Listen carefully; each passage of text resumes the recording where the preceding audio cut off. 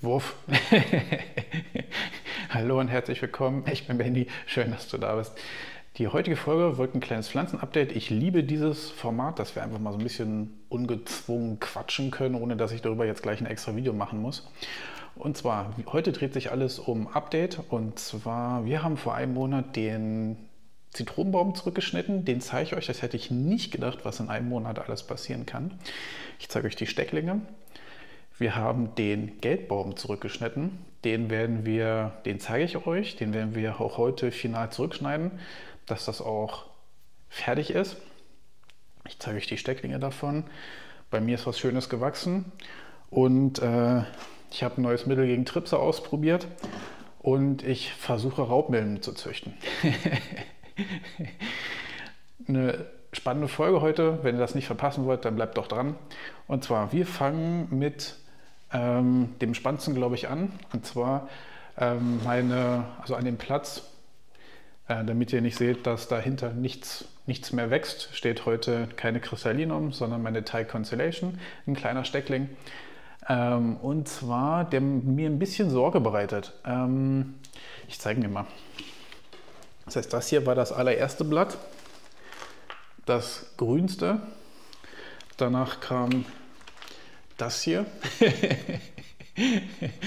Und jetzt halt komplett weiß. Nein, es ist nicht komplett weiß. Da ganz oben an der Ecke. Äh, schwierig, weil schwer. Das sieht ihr bestimmt nicht, ne? Aber hier oben ist ein ganz leichte. Da, da, da, da. Seht das?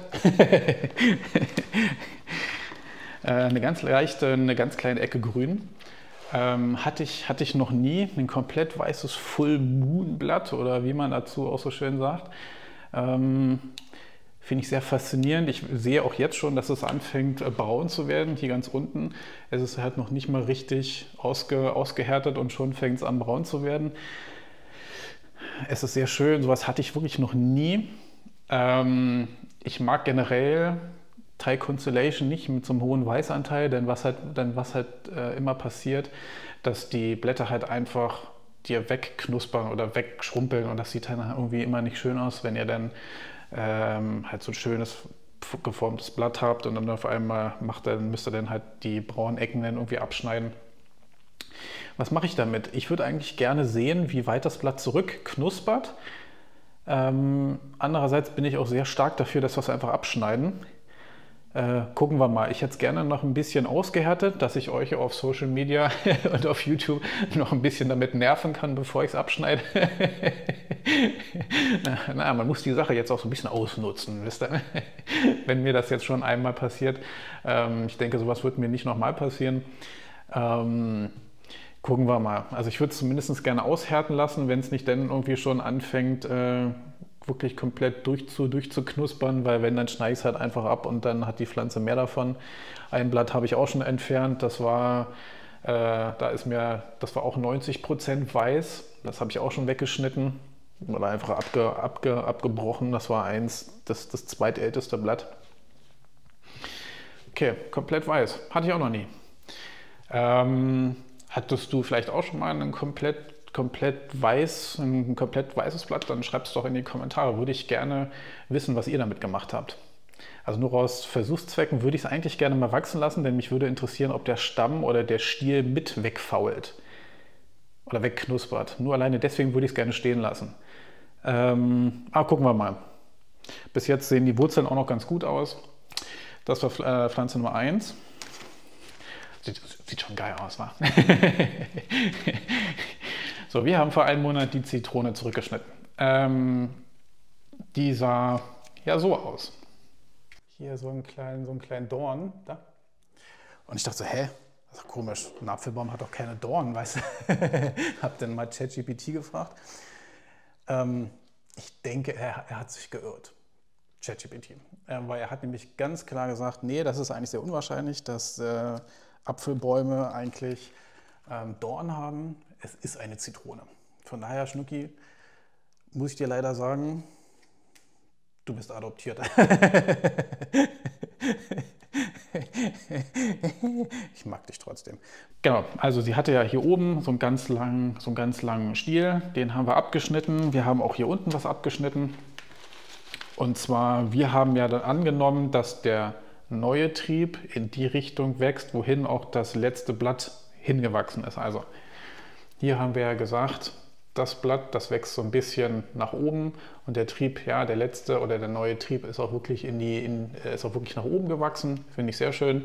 Unten immer noch genauso schön voll wie, wie vorher. Ähm, dann haben wir hier oben noch einen kleinen Seitentrieb und auch hier haben wir wieder gesagt, okay, ich will jetzt gerne nach oben wachsen haben. Ähm, also wächst doch der neueste Trieb äh, nach oben.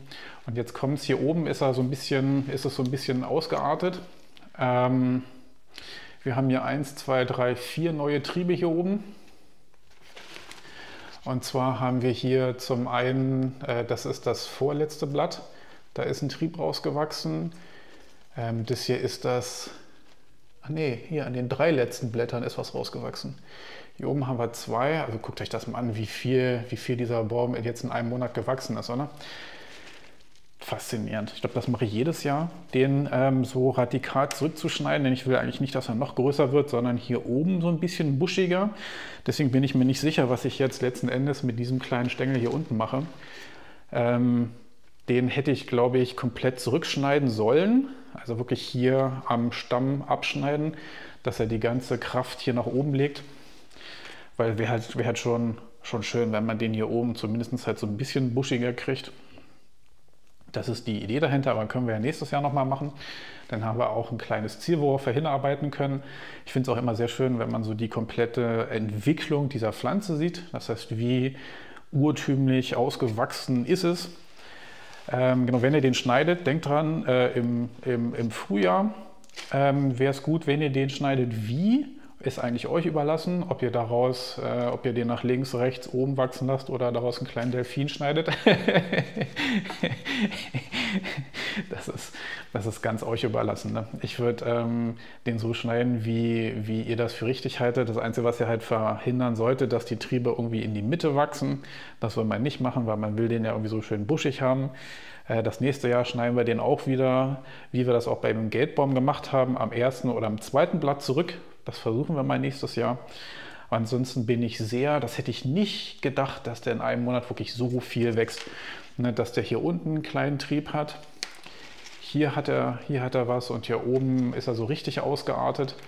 Ähm, die Blätter sind zwar noch nicht so groß, wie sie vorher mal waren, aber sehr schön. Sehr, sehr, sehr schön. Hat sich wirklich voll gelohnt, den abzuschneiden. Genau, das war Zitrone. Kommen wir zu den Zitronenstecklingen, die wir gemacht haben. Und zwar, wir haben ja das einfach abgeschnitten, haben dann die Wunde am Baum und auch bei dem Steckling äh, mit Zimt bestreut. Das heißt normales, normales Zimt, was ihr auch im Haushalt habt.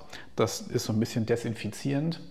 Ähm, jetzt bei den Stecklingen bin ich mir jetzt so ein bisschen unsicher. Ne? Also sie wachsen halt auch in alle Richtungen. Das heißt, wir haben zum Beispiel hier einen kleinen Steckling. Also alle Stecklinge haben keine Wurzeln. Das sind alle, alle Stecklinge, die wir gemacht haben. Keine haben Wurzeln, aber alle sind gewachsen. Äh, sie standen alle in meiner Wachstumsbox. Wenn du wissen willst, wie meine Wachstumsboxen aufgebaut sind, dann klick doch hier oben. Ähm, und zwar ist dieser kleine Steckling zum Beispiel gewachsen. Der hat sich hier oben auch ein bisschen neu verzweigt. Ich habe dann noch die richtig langen Blätter habe ich abgeschnitten oder zum Beispiel zumindest äh, gedrittelt. Ähm, das macht man halt eigentlich immer, damit die Energie in die Wurzelproduktion oder in andere Sachen hingehen. Und ähm, weil sonst steckt der Trieb die ganze Energie in die Erhaltung der Blätter. Das wollt ihr natürlich nicht, dann sitzt er da irgendwie ein halbes, dreiviertel Jahr oder zwei Jahre, bevor da was passiert einfach kurz ein bisschen abschneiden oder zumindest das halt auf ein paar Blätter reduzieren und dann wachsen die Triebe schneller. Ähm, genau, bin ich mir jetzt sehr unsicher, ähm, was ich damit jetzt machen soll, weil sie halt komplett keine Wurzeln haben. Aber vielleicht kommt es ja noch. Dafür haben wir hier noch einen schönen Trieb. Bei dem ist noch gar nichts passiert. Guck mal, da unten kommt was kleines Grünes raus. Da, so ein kleiner, so ein, so ein kleiner Popel. Hier ist noch gar nichts passiert. Äh, was haben wir jetzt noch?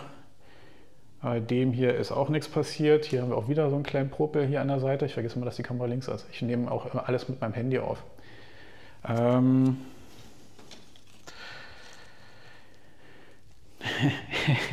haben wir den Steckling mit dem, mit dem kleinen Dorn. Ähm, hier oben ist er halt auch neu ausgetrieben, hat auch schon drei Blätter gekriegt, aber keine Wurzeln, kein gar nichts. Das hier, was hier unten, was man hier unten sieht, glaube ich, ist, äh, habe ich schlecht abgeschnitten. Da dieser kleine Fussel da, den ihr da seht, da.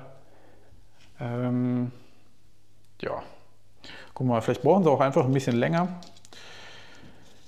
Dann haben wir noch, noch zwei letzte. Der hier hat auch erfolgreich ein neues Blatt gekriegt.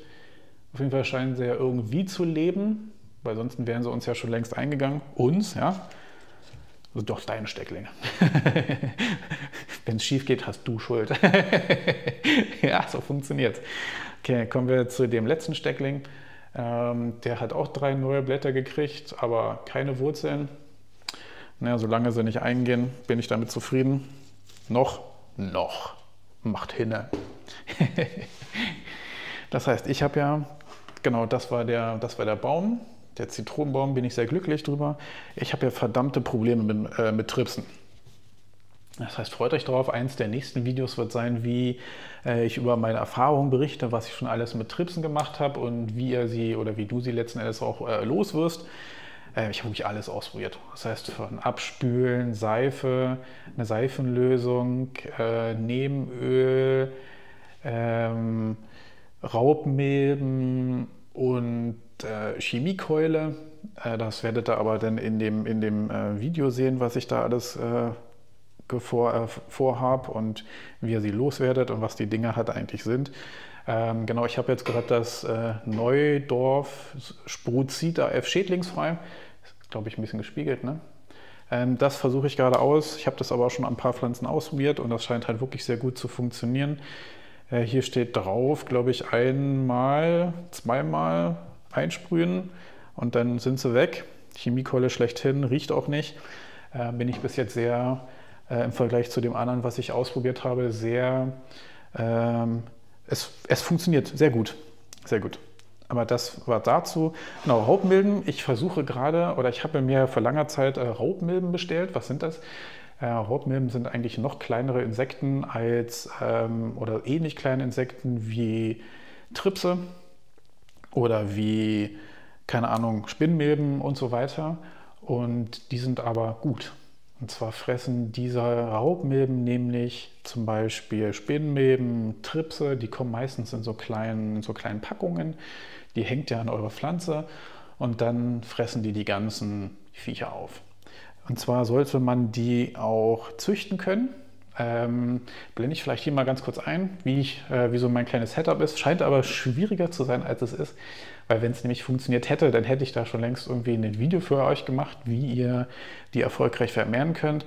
Scheint aber echt schwierig zu sein. Ähm, ich sehe da immer noch, immer noch ein paar Tripse, äh, immer noch ein paar Raubmilben. Und zwar habe ich das mit der Amblysius californicus ausprobiert.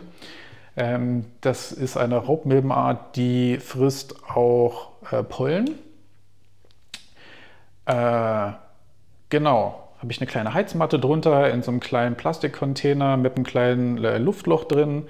Ähm, dann einen kleinen Kanister mit Wasser für die, ähm, für die Luftfeuchtigkeit und eine kleine Schale mit ähm, Blütenpollen. Die sind so klein gepresst und die fressen die.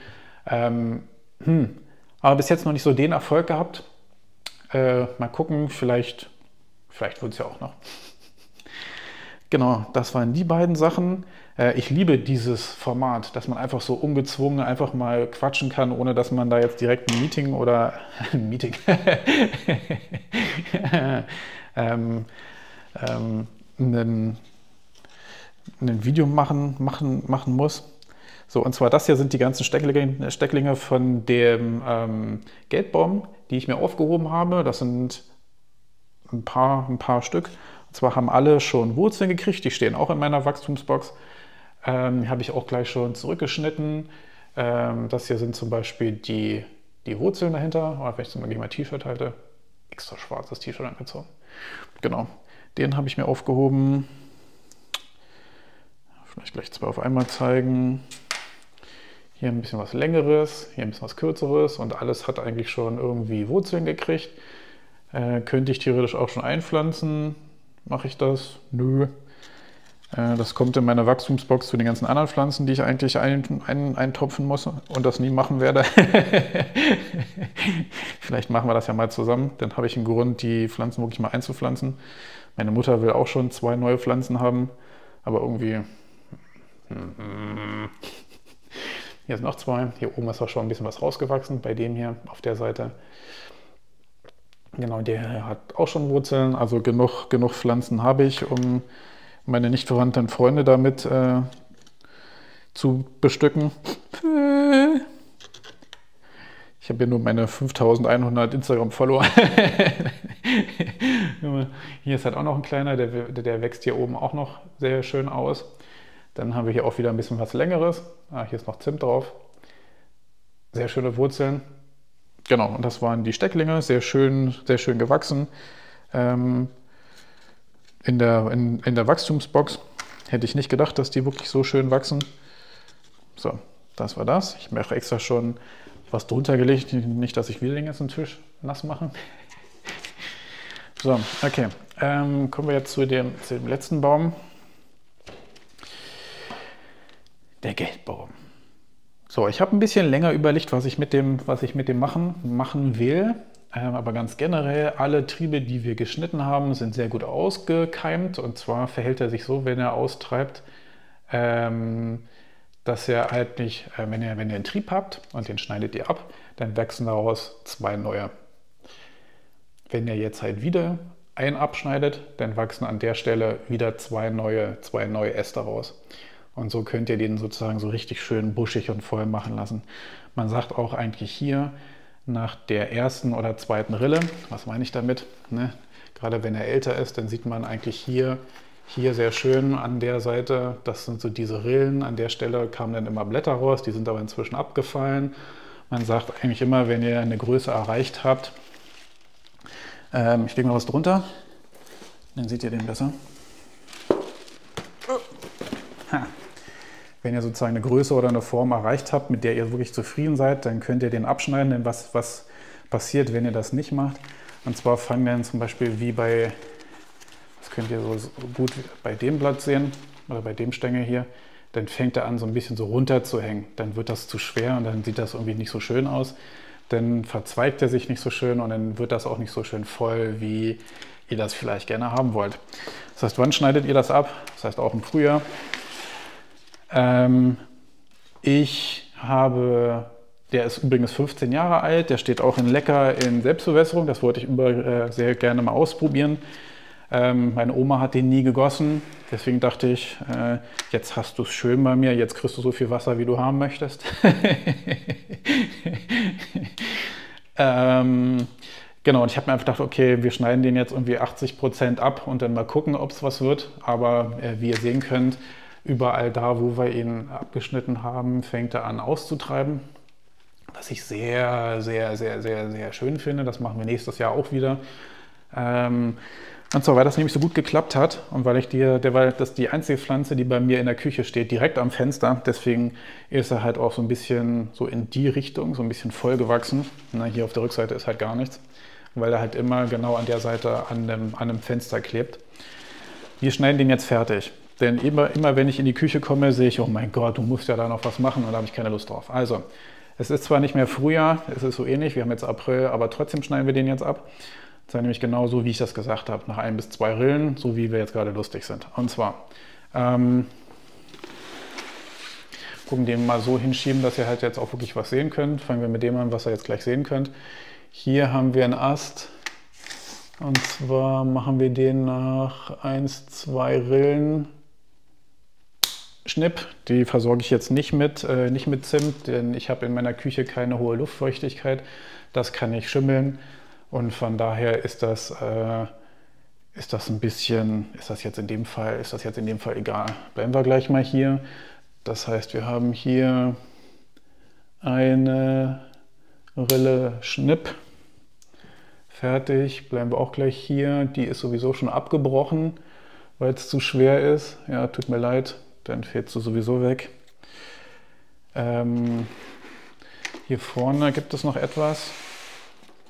Hier Das finde ich eigentlich auch ganz schön. Da lassen wir ein paar Blätter dran. So, das hat auch die richtige Größe. Ähm, dann haben wir dann haben wir hier in der Mitte noch ein bisschen was. Also so hinschieben, dass ihr das auch wirklich sehen könnt. Ne, okay. Ähm, wenn ich den drehe, könnt ihr das dann besser sehen. Ne, auch nicht. Okay, das heißt, wir lassen den so. Ähm, das heißt, hier haben wir noch zwei Stück. Den schneiden wir jetzt nach 1 ab, damit das da so schön voll wird. Hier der Abstand zur 2 ist mir zu groß, deswegen machen wir das nach einem. Hier fängt er auch schon runter zu hängen, deswegen schneiden wir den nach 1 ab. Ja, so, so wird ein Schuh draus. So gefällt er mir. Also jetzt nicht, weil er so schön kahl ist, aber weil er jetzt halt eigentlich mal eine Form erreicht, die mir halt auch wirklich gefällt. Hier auch nach und der Ast ist eigentlich ganz schön, deswegen schneiden wir den nach 2 ab. Genau, der gefällt mir. Ich weiß nicht, was ich hiermit machen soll, weil das gefällt mir hier nicht. Seht, seht ihr das? Das hängt hier so. Aber lassen wir das mal. So, das Einzige, was mir jetzt wirklich nicht gefällt, da habe ich wirklich ein bisschen länger überlegt. Und zwar haben wir hier unten halt einen, den seht ihr halt auch, der fängt irgendwie, hier ist er noch schön, hier ist er noch schön gerade und dann knickt er hier so ab und dann ist er, wird er ganz dolle traurig. Reiben hilft da auch nicht. Ähm, hm, ist, jetzt halt, ist jetzt halt ein bisschen, ein, bisschen, ein bisschen schwierig, denn der Geldbaum hat auf der Seite hat er irgendwie gar nichts. Und hier lädt er dann halt so ein bisschen äh, nach links aus. Ähm, das heißt, wir ähm, schneiden den jetzt, ähm, ich würde den eigentlich fast gerne hier abschneiden wollen. Hier dann ähm, haben wir da, dann, dann hängt es da nicht so runter. Ich hänge, ich, äh, ich hasse das, wenn die Geldbäume da so runterhängen. Genau, jetzt haben wir es einfach abgeschnitten, weg ist es. Und das würde ich eigentlich gerne mit dem hier auch machen, mit dem großen Stück hier in der Mitte. Dann ähm, versuchen wir den halt so ein bisschen mehr, so ein bisschen voller mit so einem Drall mehr nach hier. Ich weiß jetzt nicht, ob das für dich links oder rechts ist. Von daher schneiden wir den. Guck mal, wir können ja zwei, zwei lassen. Zwei lassen. Und das hier anders, das da alles interessiert mich nicht. So, okay. Ähm, das ist der Geldbaum, so ist er jetzt. Ähm, bin ich jetzt sehr mit zufrieden, jetzt wo wir den endlich fertig geschnitten haben. Äh, ich hoffe dass nicht, dass ich jetzt den damit getötet habe. Aber wenn der jetzt schon so schön ausge, ausgewachsen ist, dann denke ich, dann wird das. Und äh, vielleicht im nächsten Update zeige ich dir den nochmal was daraus geworden ist oder was nicht, damit du nicht gleich die, nicht die gleichen machst wie ich. Und damit sind wir heute fertig. Das heißt, ähm, hat dir die Folge gefallen? Soll ich dir vielleicht noch was anderes erzählen? Ähm, ich mag persönlich dieses Format, ähm, damit ihr auch eigentlich jeden Monat oder jeden Sonntag um 10 Uhr ähm, ein neues Video habt Lasst doch gerne einen Kommentar da, wie ihr eure Pflanzen im Frühjahr geschnitten habt oder ist daraus was geworden? Habt ihr vielleicht auch schon neue, neue kleine Triebe gesehen? Ähm, habt ihr vielleicht schon was ernten können? Im April weiß ich nicht, was da wächst. Dann lasst es mich doch gerne in den Kommentaren wissen. Ähm, ich wünsche dir noch ein schönes Wochenende und wir sehen uns nächste Woche. Bis gleich.